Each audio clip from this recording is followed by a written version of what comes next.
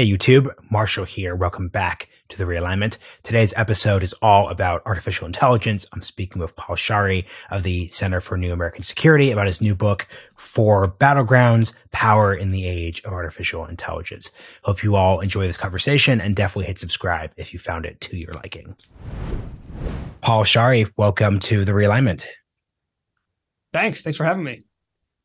The thing I'm obsessed with as a interviewer who talks with a lot of people who publish books is when people publish books because the timeline is usually like a year and a half to two years before that perfectly coincide with shifts in the narrative. So your book perfectly came out yeah. just as like the Silicon Valley space was pivoting from like Web3 hype train to AI hype train, which makes you the right person to speak with because you didn't just jot this out last week to coincide. You were thinking about this deeply one, two, three, four, five, six years before we even got here. So I just want to say, A, congrats to you, but B, kind of speak to that the, the the hype direction. How do you be substantive in a moment like that? Would love to hear that, that the personal side of that.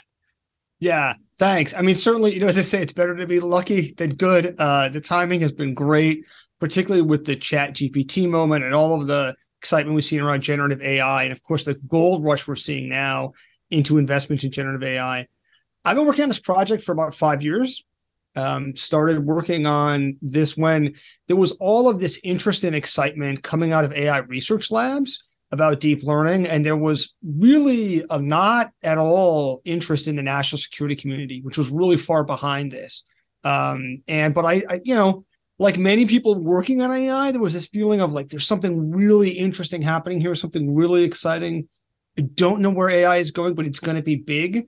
I think we're seeing that play out, and it's uh, it's really exciting. It's great. I'm glad that the book is coming out at a time when hopefully people are going to be really interested in the topic. Yeah, here's what would be helpful, then. Let's just do a kind of place setting. Throw out a lot of terms chat gpt um, machine learning. Obviously this is all under the bucket of ai but just like position us like at a terminology um, level because these are referring to different phenomenon. There's different tech different aspects have more national security relevance than other ones. Just set the table that way. Sure. So i think it's most helpful to think of the term artificial intelligence as a field of study like chemistry or civil engineering where the field of AI is about trying to design machines that are intelligent. Now, we'll set aside maybe for the moment, like what is intelligence? Turns out that's really difficult, and AI researchers do not agree at all. But in practice, what AI researchers have done is basically pick really hard tasks that we think require intelligence and then try to build a machine that can do that and then see where that gets you. And uh, within this field of AI, there's a whole variety of different techniques and approaches that have come in and out of fashion over the years. We are now a decade into the deep learning revolution. And that's been an explosion in AI since 2012. And that in particular, been one type of AI called machine learning. So older model AI systems were rule based systems that were based on a set of rules that came from human experts. A great example of this is a commercial airline autopilot. It's got a set of rules for what the airplane should do in any given circumstance based on the sensors coming in, the information of the aircraft, and it's rules that come from conversations with computer scientists and pilots and aerospace engineers. And those rule based systems, those expert systems that draw on human expert knowledge, are really good. We use them all the time. We use them in things like tax preparation software. We just don't think of them as AI. So there's this phenomenon where AI is like the weird stuff that doesn't quite work yet. And then as soon as something works, we just call it software. Mm. Well, machine learning works totally different way, where instead of being based on a set of rules, the algorithms are trained on data. And you could take data sets, in some cases, massive data sets, and train these algorithms on data. And they actually learn from the data to identify patterns the same way that we do. And that's a really powerful technique it's good for things like text generation, like generative models like ChatGPT, or generating images like some of the AI art generators that we've seen explode onto the scene in the last year, as well as classifiers that can identify objects or faces based on images, identifying subtle patterns. There's a whole slew of different applications of this approach. And in particular, machine type of machine learning called deep learning that uses deep neural networks, which is a connectionist paradigm that's sort of loosely modeled on uh, how brains work. And it's a really powerful technique.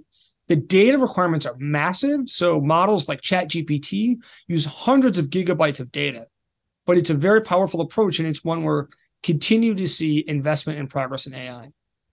So the way you explain that, I'm curious about your opening point that for a long time the national security community wasn't interested in this space in this direction. I think is just hearing that articulation, you could just think, okay, like obviously there are going to be some deep implications to this. Kind of explained the like, I hate this cliche, the the gap between Silicon Valley and Washington D.C. There.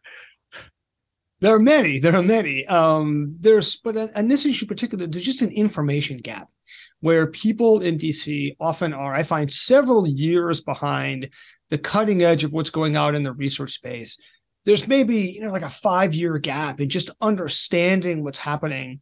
And so i found several years ago i'd go talk to scientists and engineers who are working on frontier ai systems at uh, labs like deepmind and openai. And you could see the ai progress if you were paying attention was remarkable with things like AlphaGo beating the top humans at go huge breakthrough in ai and in particular in machine learning. But people in the national security world really weren't paying attention yet uh, that's changed. And one of the big things that's really been a catalyst in the national security world has been China. China, a few years ago, declared its intention to be the global leader in AI by 2030.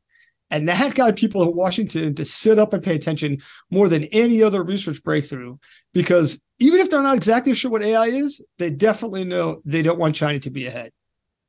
You know, it's interesting. What do you think about at a conceptual, almost historical level, the idea of countries, not just China, but you know, the US, countries in Europe deciding they are going to, at almost governmental level, own a technology. I'm not sure that's how you know the first industrial like the first industrial revolution happens but that's kind of like a bottom up organic phenomenon. Like how do you think about this idea of countries in the 2020s trying to own a space like that? Well i think the industrial revolution is a great paradigm for what we're seeing in ai in the sense that it's a very diffuse technology. It has many, many uses. And so while the industrial revolution led this process of industrialization across society, that we saw accelerated economic productivity and military power and huge transformational effects on society, AI is likely to do the same. And so AI is not a technology where a government can bottle it up it's like the opposite of stealth technology that was mm-hmm. invented at secret defense labs and that that can be controlled and has been slow to proliferate. Ai is coming out of the commercial sector. The proliferation is very very rapid. We're seeing in some cases just a few months from a cutting edge research breakthrough generative image models that do art generation are a great example of this to then things go open source and there's an open source model, like in the case of art generation, stable diffusion, that anyone can get access to and download and use and modify.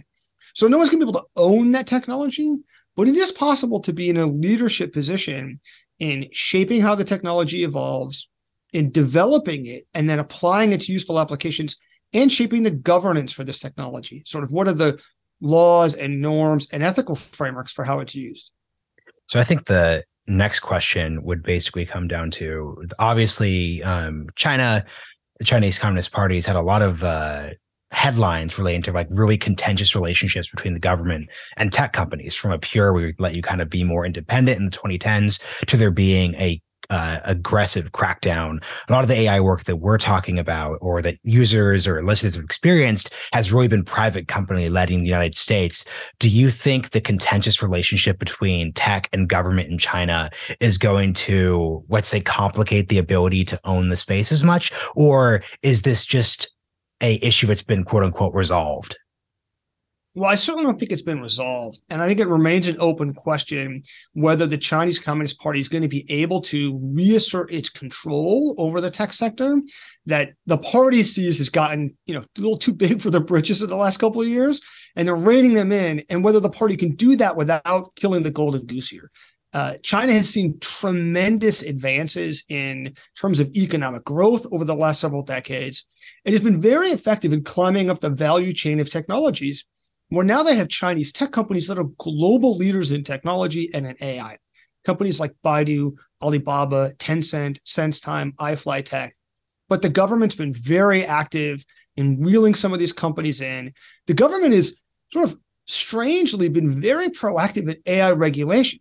So while there are no laws inside China that can constrain the Chinese Communist Party, the way there are laws in other countries about constraining what the government might do, here in the US or in Europe, for example, uh, the government in China has been very proactive in putting in place laws that are going to constrain what Chinese tech companies can do. So historically, countries have had to face a choice, often called the dictator's dilemma, about whether they can embrace economic growth and openness and opportunity. But with that, has historically for other countries, the liberalization of economic opportunity has led over time to more political liberalization. Or countries can, you know, constrain freedom, constrain the free flow of ideas, and basically head down the path of North Korea. China's been able to thread that needle, and they've been able to see unprecedented economic growth while the Chinese Communist Party keeping an ironclad grip on power. But I think it remains an open question whether they'll be able to continue to do that or this crackdown will stifle Chinese innovation and growth going forward. And this is where the Soviet example is so fascinating because obviously the Soviets missed the boat on computing, they missed the boat when it comes to the internet, but all of the various issues with the Soviet economic system did not prevent them from leading the early space program. Um, you know, the various aspects of it weren't a constraint there. So to what degree do you think a closed um, top-down economic system um, has either an advantage or a disadvantage when it comes to the AI technology specifically? There's elements of both, and this is what I think makes you know analyzing the political economy of you know say the U.S. versus China difficult, but also important to get down into the details.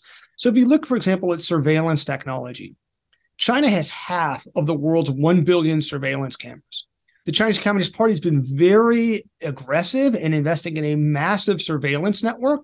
And not only is that helping them surveil and monitor their citizens in ways that are very troubling and dystopian from the standpoint of human freedom, but from the standpoint of lifting up the Chinese tech industry, it's been beneficial in accelerating Chinese progress through government funding, through data that then Chinese AI companies are collecting on Chinese citizens, and because Chinese companies now have the opportunity to actually deploy these systems out in the real world. So, for facial recognition, for example, China's going to be ahead of US companies. Whereas in the US, there's been a grassroots movement against facial recognition at the state and local level. Many states and cities banning uh, use of facial recognition by law enforcement. And a lot of the big tech companies in the US Amazon, Microsoft, IBM has said they're not going to sell facial recognition to law enforcement, uh, either for the time being until there's better regulation, or in the case of IBM, they're just getting out of the business entirely.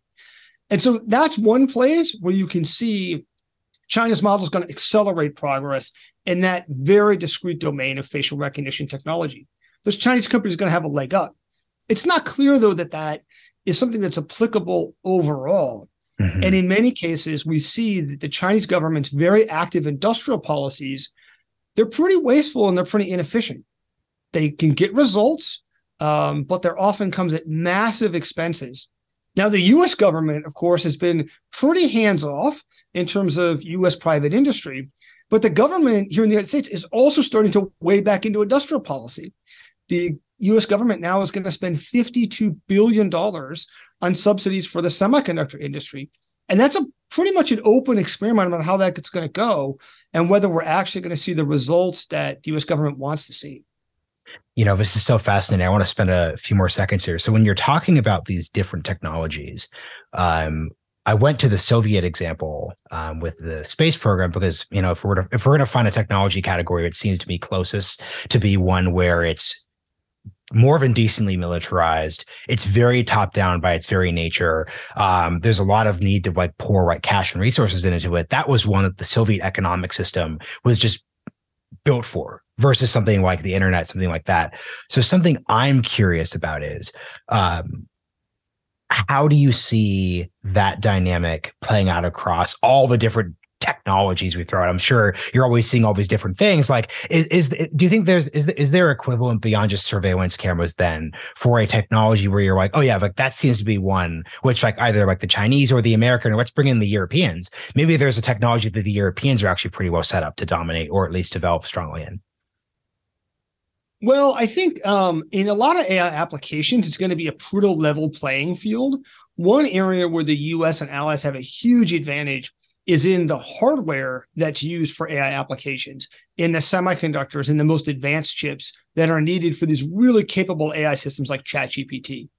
So the semiconductor industry is very globalized, but it goes through a couple key choke points mm. that give some countries outsized power over who gets access to the most advanced chips in the world. The United States is one of those, but other countries include Japan, South Korea, Taiwan, and the Netherlands. And those countries have outsized influence over the physical hardware that AI runs on. Because to train a large language model like ChatGPT on hundreds of gigabytes of text, you need massive amounts of computing power. And a lot of these large models run on thousands of specialized chips, graphics processing units or GPUs, running for weeks at a time, churning through all of this data. Well, 90% of the most advanced chips in the world are made in Taiwan. So Taiwan is the Saudi Arabia of computing hardware. They have this really outsized geopolitical significance because of their role in making the most advanced chips. But the technology that's used to make the chips themselves comes from other countries. And it's the US, Japan, and the Netherlands that control 90% of the global market for the technology that's used to manufacture chips. And in fact, they've recently used this to hold China back in hardware.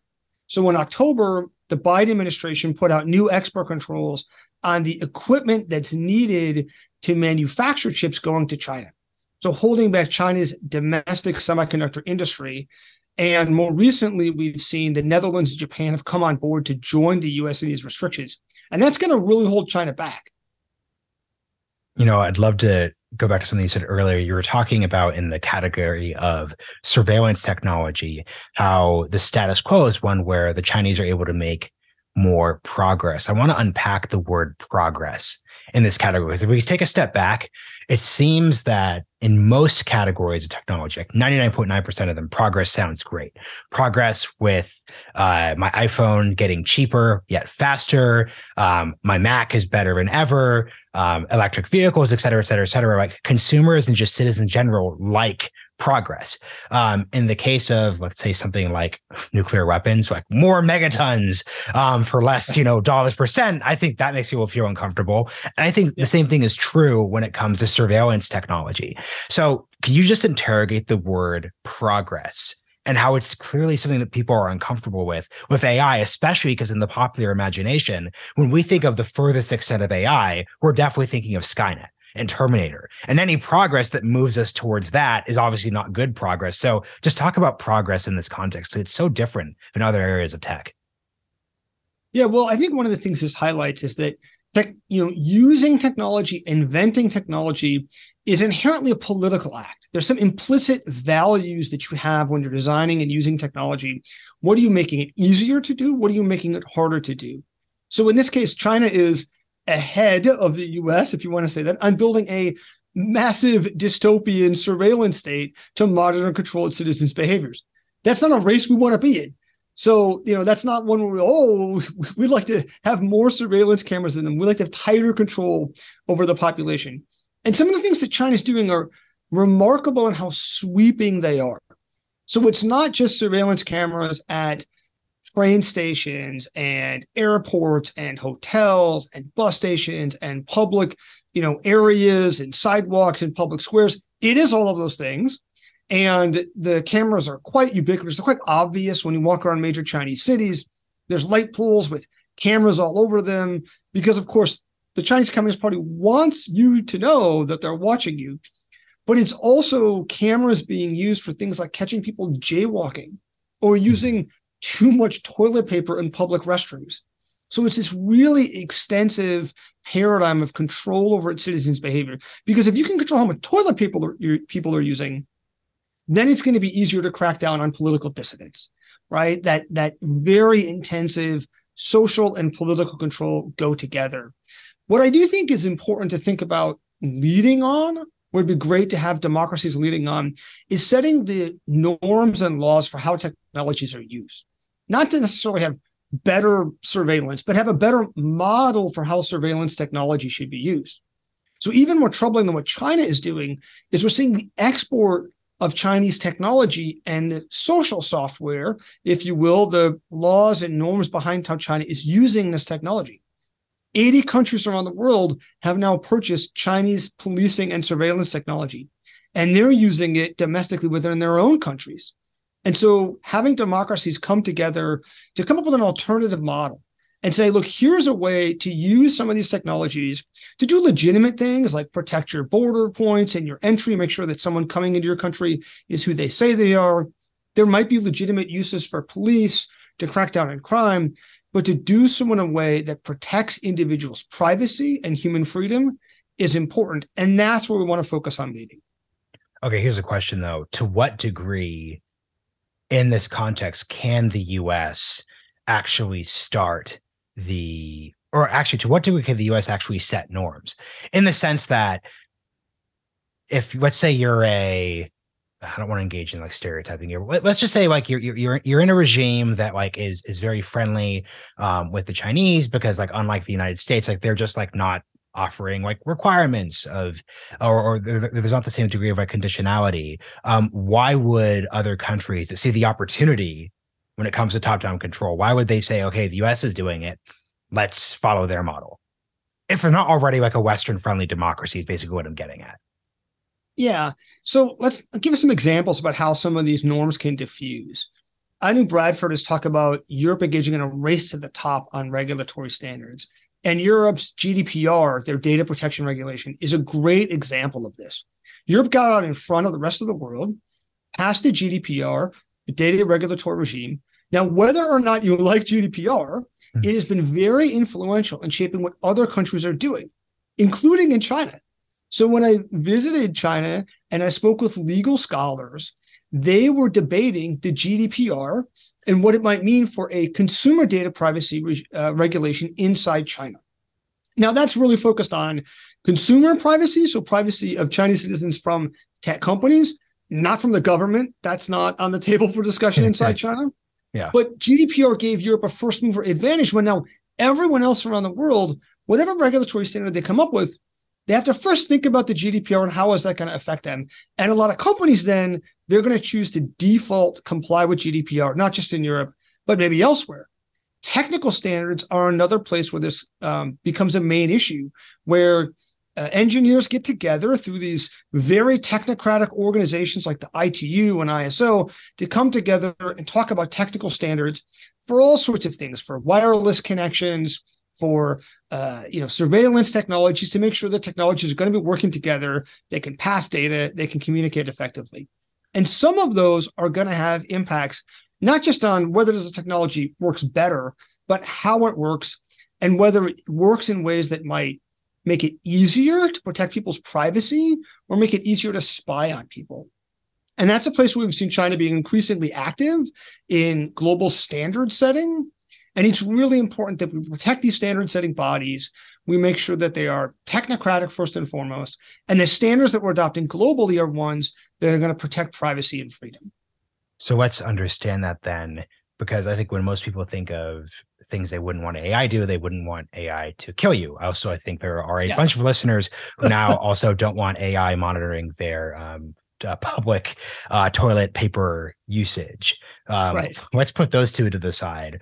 Like, what does like the actual gamut of like, let's say, like objectives actually look like when it comes to like legal restrictions? Or I don't want, I don't even want to say restrictions because that I think that has a moral weight to it. But what does the legal gamut look like? Well, we're seeing a whole host of new challenges rise up as we're starting to build these AI systems. So we see already debates in the US about law enforcement using facial recognition. We see debates about generative AI art. Yeah. Um, who owns that art? Uh, that's going to be the case for both images and for text. It might be maybe not too far down the road the case for inventions. Who owns, you know, some new invention that an AI system comes up with? It cannot be copyrighted by the user. What if you use the AI to do that? What if you work with the AI? How much you have to modify it to have ownership over it? It's also an issue when we come to think about the data that these AI systems are trained on. This is a big issue for these generative art models is they're trained right now on copyrighted data. And so the people that are training these models say that they believe that using copyrighted data to put in the training database is fair use under US copyright law. But that's an open question. And others are suing these companies saying that's not, that in order to use copyrighted data, you need to get permission. Either way, we need to find some resolution to this issue, and having clarity will help then unlock innovation. So everybody knows if I want to be able to use this data, this is what I have to do to get there. And those are just some of the things that we're running into now. So I think it's worth keeping in mind that when we see powerful new technologies, we don't want to strangle those technologies, but we also want to use them thoughtfully. And one of the big myths that can be really destructive here in the United States is this idea that digital technologies shouldn't be regulated. Well, the only reason why we have clean air, water, safe food to eat, safe highways, safe air travel is because of government regulation of all of those areas. In fact, in a number of states, even regulate tape recorders you need two party consent before recording. So there's going to be lots of areas where AI is going to have to be regulated too. Yeah, I want to. We spend some time dunking on DC being uh, behind the curve, but I think you said something earlier that a lot of people um, in the tech world would just object to, but I think is just true, which is that like your point that technology is ultimately like a political act, like how it's used, how it's governed, those different aspects. Could you just speak to the like Silicon Valley side of the audience about how at the end of the day, we're just not capable of having uh, a conversation around AI that doesn't inevitably get political. Because I'll just say, like, I've had plenty of VCs on this podcast um, at like very like marquee firms who have said things like, seriously, DC, leave us alone, like, let us do our thing. And the DC side of me is like, well, at the end of the day, if there's a political implication to what you're doing, it's not really even a choice. It's just actually a reality of the space they're in. So, can you just talk about this dynamic? Yeah, I think it's important to keep in mind that if we're going to have an economy that's productive, we're going to have a society that's protecting social welfare and individuals being, we're going to have to regulate these powerful technologies in some ways. And the people that are inventing them in Silicon Valley or elsewhere, and the people that are regulating them in Washington or in state capitals or in cities are going to have to work together. So I understand that there's lots of frustration for people coming out of the tech sector with oftentimes just a lack of understanding and awareness in Washington. I get it. I live here in Washington. There is a tech literacy problem, but the best way to overcome that is to have greater dialogue and understanding. And I think people in Washington are receptive to okay, what are the approaches that we'd like to see? But the answer can't be just let it rip. That's not going to be good for society. And I'm actually encouraged by things like debate surrounding Chat GPT that people are now able to see AI technology in at least one specific application and begin to envision all of the challenges that this is going to bring. I suspect that issues like are students going to use it to you know write essays is going to be the least of our problems when we think about generative AI. I'm much more concerned about things like mass producing misinformation, massive amounts of text spam flooding the web, and how are we going to deal with that? And we're going to have to find ways to have those on the tech side and those on the policy side, or sometimes people will say, you know, uh, suits and hoodies working together to solve these problems. Yeah, that's a very. Uh, I was just shocked back into 2014, um, hearing that articulation of it. Um, okay, so now we're the, in the other half of the show. I want to do a, a few quick bits and then get into uh, your previous work and the actual um, four key elements that you're bringing to the table with with the book here. So, firstly, um, this episode has not been doom and gloomy, but it's definitely like looking at the downsides of things. Can you just tell me like why I should be excited about AI? If we're if we're comparing it to like electricity and we're comparing it to previous industrial revolutions, like the electricity answer is, hey, you could now stay up way later. That's awesome. Like, what's just like a tangible way that you're, without getting into too far like unhelpful science fiction imagery? Like, why should people be excited? Also, like putting aside, they've seen like the, they've seen like the you know text generation, they've seen like the AI art. Like, what's like a a monumental way you think someone should be excited about this? I think AI overall is likely to accelerate economic productivity and scientific progress in ways that will have a whole sorts of valuable effects on society, whether that's in medicine, finance, transportation, or other areas. That there's all sorts of things where if we can build out data sets for what we want a machine to perform, and if we have a clear metric for what better performance looks like, we can train machines to do that. We can offload tasks that humans are doing to machines now, with humans focusing on higher level tasks that maybe the machines, machines can't do. And it's going to accelerate productivity and economic growth. It's going to lead to a better society, ideally, in many ways, a safer one overall. Self driving cars alone we can get there to have safe autonomous cars that are better than people would save tens of thousands of lives on the in the US every single year. And so there's tremendous advantages from AI. Um, yeah, the, the the book, our conversation is about some of the scariest stuff, but I wouldn't want that to take away from this idea that I think overall it has a lot of benefits in society. And actually, I'm quite optimistic about that. Mm-hmm. Yeah, I want to reverse the way you typically ask this question then. Um, instead of asking what keeps you up at night in this category, like what doesn't keep you up at night in this category of conversation? Oh, um, what is a, a false concern, I guess? Um, I think a lot of the concern that comes up in science fiction is this very anthropomorphic vision of AI, of these AIs that like sort of one day become self-aware and turn on us. And I think it's actually not a very helpful way to think about AI. Um, the way this is going to be a little gloom and doom, and I'm sorry. The way that I think about it is probably worse. Which nice. is to say that a lot of the systems we're building, they actually don't think like people, um, which is not a good thing for us because it means that our mental model for how other intelligent systems interact, the what allows you know you and I to have a conversation or listeners to listen to us and envision you know who we are, what we're thinking about. We have sort of this mental model for another person, and we often put it on other objects, right? We put it on our pets people name their Roombas, and then we stick it on AI systems. So you can interact with something like Chat GPT and you're talking to it, and it can fool you into thinking that it thinks like a person, and it doesn't. What's going on under the hood is super weird and alien. And so I think a lot of the concerns that we see in science fiction are probably not what we're going to see, but we're going to have different challenges and we're going to have to work hard to shed some of this anthropomorphic framing that we often have when we look at AI that's so interesting. So even I'm thinking of like you know uh, Isaac Asimov. Is, is, it the four laws? How many laws are there in Isaac Asimov? Do you, three laws. Do, three laws. Th- three laws. Three laws. Right. So like, don't kill people, and I can't remember you know the the other two. Right. It's simple. I should remember the other two. But the, the kind of the point is, if, if I'm thinking about the way we articulate um, how you would protect yourself against AI. I guess you are thinking, we're worried it's going to start asking itself, who am I? What am I? Why do I serve this, you know, meat bag human? But even to your point, like that's actually very linear. That's very, that's like, that's basically saying, like, what if the human brain were in a machine? How would it think about things? And your point is right. basically that, like, it's not that that wouldn't necessarily be an issue or a concern. It's just that if we're actually going to game this out and think about it at a longer time scale, whatever disastrous result could come from this wouldn't wouldn't probably be one that we could conceive of in the mid 50s or 1960s um, in terms of like actually that concern there. Exactly, because these things, again, under the hood, these sort of really weird alien forms of intelligence. And so we're not, I think it's, there's this often this implicit assumption, both in the public and I think among some AI researchers, that we're moving up this staircase in intelligence. And at some point in time, we'll get to like human intelligence. We'll build an AI that is human intelligence.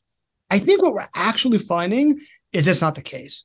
That human intelligence is one specific spot in a vast space of possible intelligences with many different dimensions to it. And we're sort of exploring the space and we're building lots of different AI systems that think very differently than people. So if you look at something like Chat GPT, for example, it can engage in chatting with people and it sort of comes across like a person. Now you can modify these systems. You can give them what's called reinforcement learning with human feedback. You can basically give it feedback from people about this is a good answer or bad answer to tweak some of these chatbots to make them more honest or more helpful to people. And they can, you know, start giving answers back that are maybe what you'd like to get from an AI. So you say, okay, you're an AI, and it says, oh, okay, what can I do to help you? I want to assist you. But then people have found ways to jailbreak these systems to get around this and they can get the AI to say, like, oh, I'm an evil AI. I'm going to commit world domination and I'm going to hack all the computers and murder everybody. And that in and of itself also like it's not great, okay, but but but it's also like misleading because that's not actually what the AI is doing. All it's doing is generating new text. And so the reason why it's doing that isn't because the AI decided it wants to take over the world. It's that you've created a block of text that's telling a story, and AI is just continuing the story. And if it's a good story, this text generator will repeat back things that sound good. If it's a scary story about how some AI takes over the world, it'll keep playing that role that you've effectively nudged it into playing. And so it's really important to try to like wrap your head around like what's going on with these systems so that we can use them safely. Because right now the chatbot's just a chatbot, but eventually the systems will be doing more powerful things. And we do want to make sure that we're, they're doing what we would like them to do. So in this last section, I want to, before we just get to going through the four key elements so people have a good takeaway, I, I want to kind of get to the story so far from the way that you um, really introduced the book. So you're, you're, you're talking about the robotics revolution of the two, of the 2000s.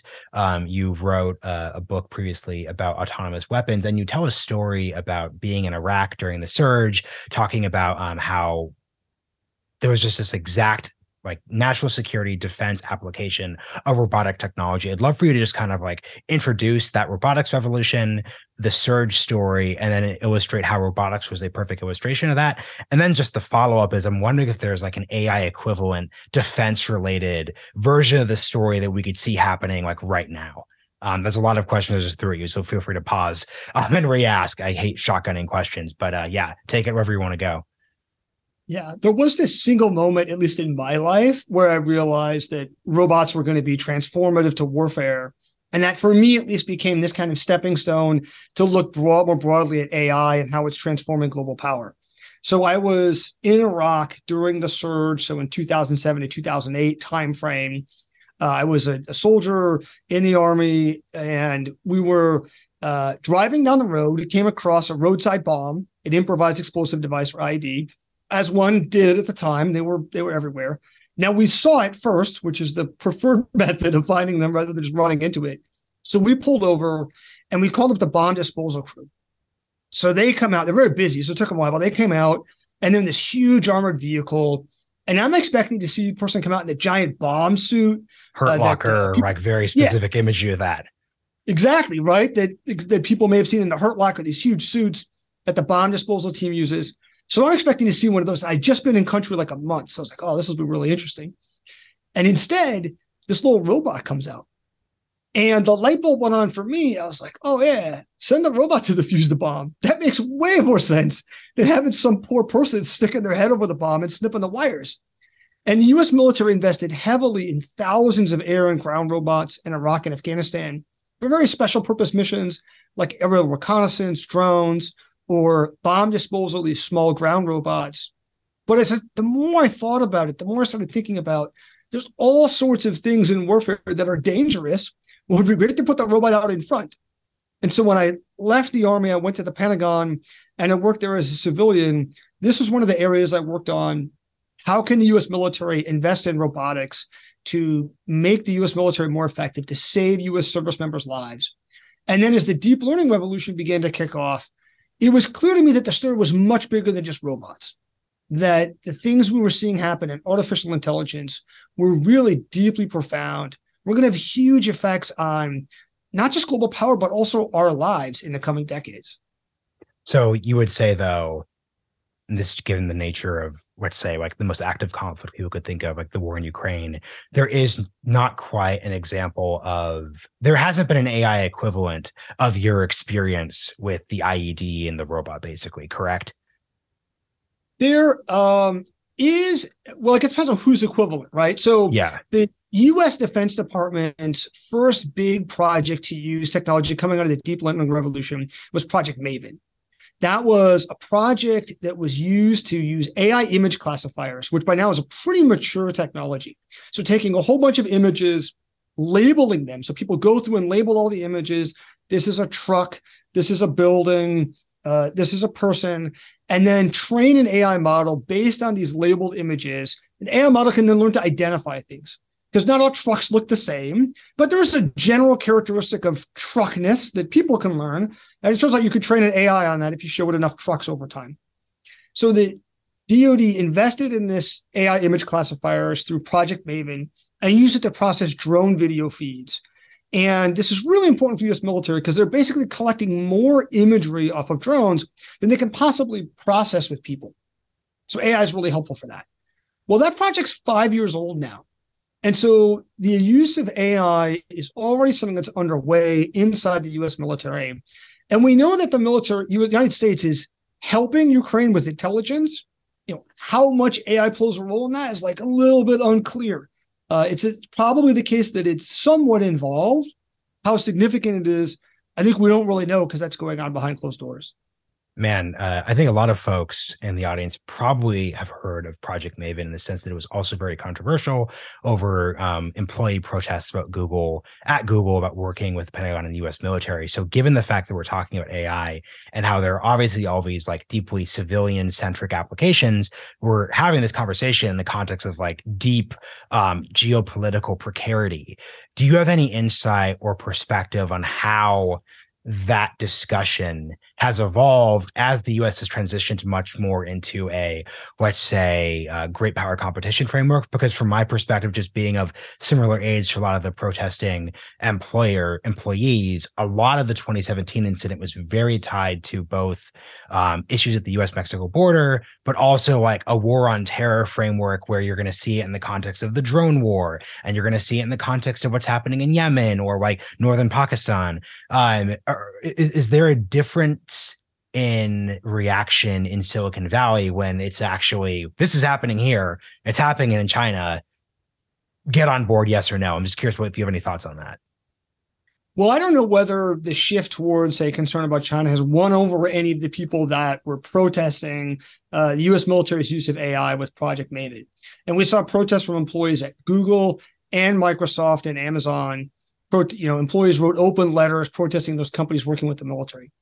What has been the case is that other than this one discrete incident of Google discontinuing their work in Project Maven in this very public fashion, while US leaders in the national security world really panicked that they were going to be shut out of this game changing technology, because of course, you know, over in China, Chinese tech employees are not going to write a letter protesting the government. That's going to land them in jail. and so while US national security leaders really were concerned they would be locked out of this game-changing technology, we've seen that hasn't been the case. There's been a whole slew of defense-oriented AI startups that are competing in the AI space. They're working with the defense community. And in fact, all of the major tech companies, including Google, are working with the US military. And so the reality is, is that um, I don't know whether you know the, the individuals have been won over by some of the shift, but at the corporate level, there's ample companies that want to work with the US government. The biggest challenges that I see are on things like contracting and acquisitions. Mm. It's not the ethical issues, it's the slowness of government contracting that makes it difficult for companies to work with the US government. So, last question to take us out. The book is super, super meaty. So, I don't feel at all um, guilty with offering people a bit of a free preview. Um, and you even say this in the book jacket, so it's it's it's really right there. You can get this on Amazon. um, there are four key elements to how people should conceive of this. I'd love for you just to walk through um, all four of those real quick. So we've got data, computing power, talent, and then institutions, and that will take us out of the episode. Yeah. So if you think about AI as like another industrial revolution, we saw during the Industrial Revolution that nations rose and fell on the global stage based on how rapidly they industrialized, and even the key metrics of power changed. So, coal and steel production became a key input for national power. Oil became a geostrategic resource that countries were willing to fight wars over. And I argue that data, computing hardware or compute, human talent, and institutions, the organizations that are needed to take all of these raw inputs and translate them into useful AI applications are going to be the key battlegrounds of AI competition. And in areas like data and institutions, it's a fairly level playing field between the US and competitors like China. But the United States has huge advantages in hardware, as we've talked about, because of the role of the US and other allied countries in the semiconductor supply chain, but also in talent, because the best AI scientists in the world, including from China, want to come to the United States. And the US is a magnet for global talent. And if the US can harness these advantages in hardware and talent, the US can remain a leader in artificial intelligence. Well, I think that's an excellent place to leave it. Thank you so much for joining me on the realignment. Thank you. Thanks for having me.